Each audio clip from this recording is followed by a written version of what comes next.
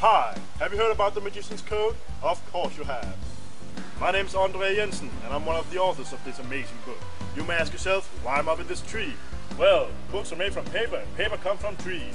Tree, hand me that book. Thank you, tree. Hi, have you heard about the Magician's Code? Of course you have. This book contains many tricks such as oil and water. I have the oil, I'm going to get the water. Well, I haven't been able to breathe underwater ever since I was a little girl, but as you know, books are made from paper, and paper come from trees, and trees provide oxygen. Book, provide oxygen.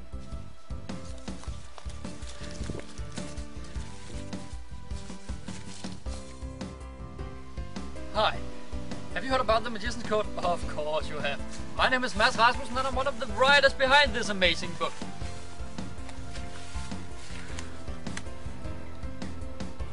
You may ask yourself why I'm hugging this tree. Well, books are made from paper and paper comes from trees.